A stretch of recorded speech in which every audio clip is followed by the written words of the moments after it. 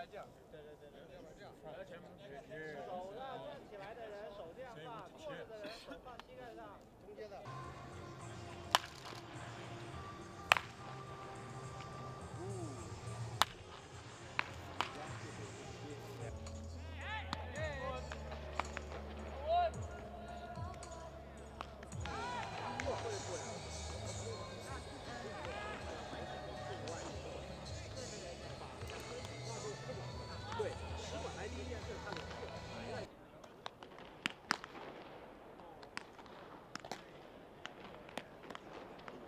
This team has practiced and played,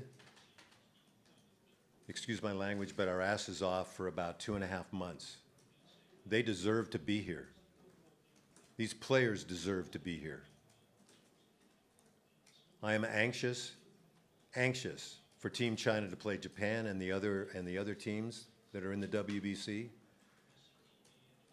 I want to see how this team accepts the challenge. I know that nobody gives us a chance against Japan or any of the other teams in the WBC, except for me and everybody in our clubhouse. We believe that we can win. I believe in this team, and I would never, ever hold up a white flag and say that we have no chance against anybody.